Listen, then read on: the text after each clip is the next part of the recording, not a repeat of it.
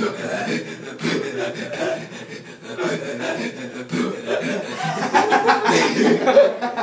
was getting caught. I was like, wait a minute.